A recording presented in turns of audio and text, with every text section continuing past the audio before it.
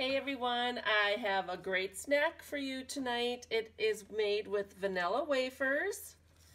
So delicious. Peanut butter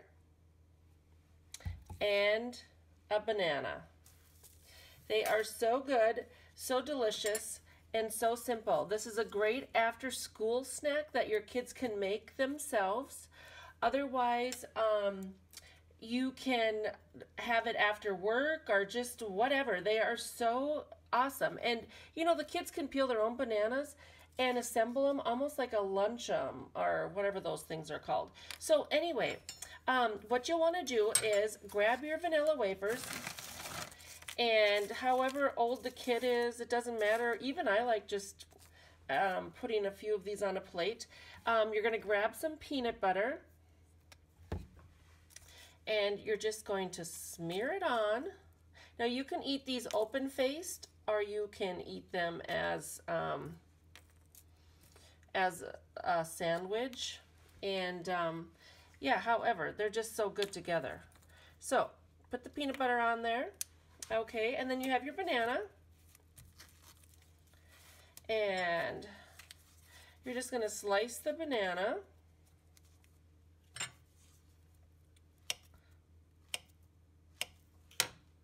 And you're going to place it on top.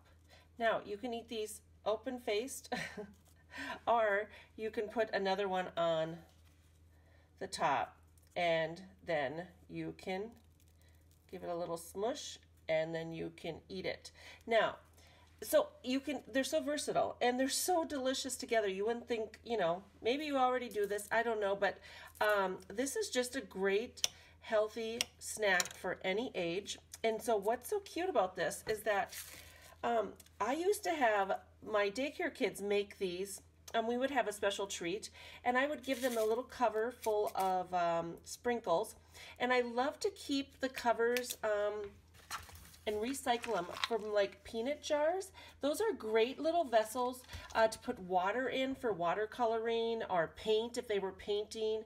I used to have a different color just for the kitchen, so I'd put salsa in there and sometimes, um, you know, snacks and sprinkles and um, just whatever it's about a quarter cup that of product that fits in there and actually at my desk uh, when I eat peanuts I just pour some in the lid and I know that's right around a quarter cup. So it's kind of nice for a healthy snack.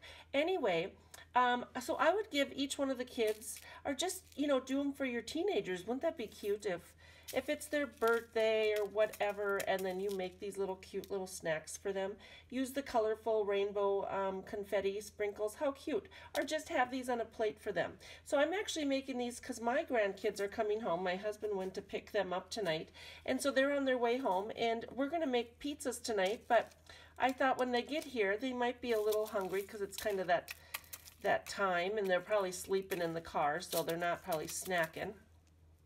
So anyway, I'm going to have a plate of these for them. Now, you can also eat them open-faced. They're a little easier and less messy, but you can still just sprinkle some confetti sprinkles on the top. So, you know, to make somebody's day and have them smile and um, just you know, be cheerful for a second and something out of the blue. These are great little snacks. I hope you take advantage of them. Um, any teenager or young child would love them.